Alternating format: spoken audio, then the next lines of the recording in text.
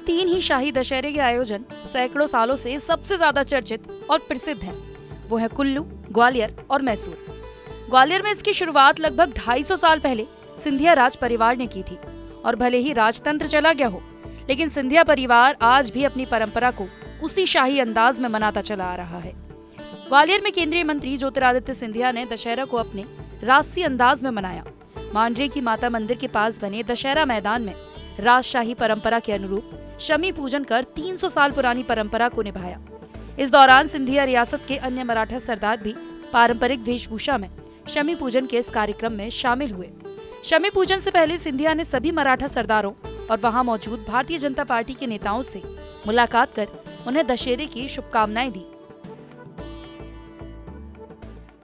दशहरा के शुभ अवसर पर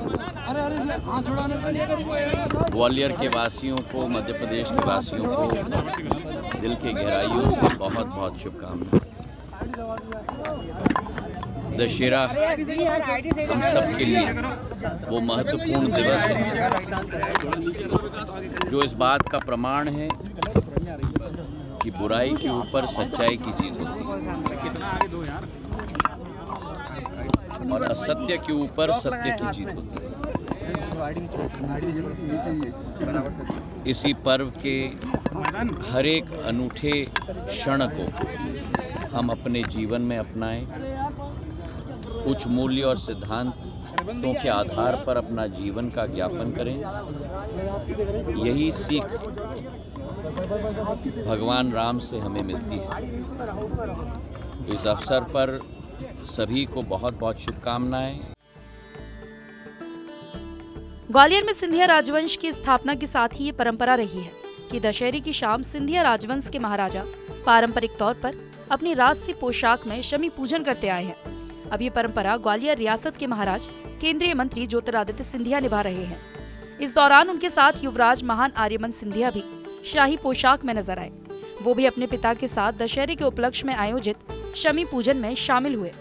इससे पहले सुबह के वक्त केंद्रीय मंत्री सिंधिया ने महाराज बाड़े पर गोरखी स्थित देवघर में अपने कुल देवताओं का आशीर्वाद लिया था और पूजा अर्चना कर शस्त्र पूजन किया था।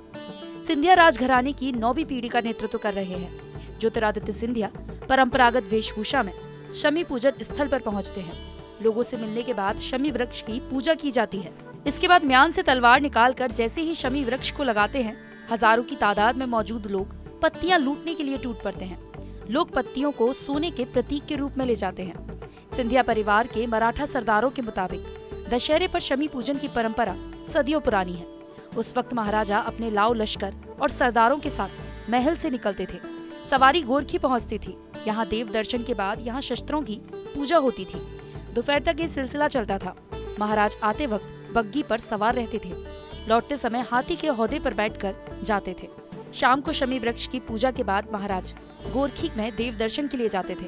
वही परंपरा आज भी जारी है।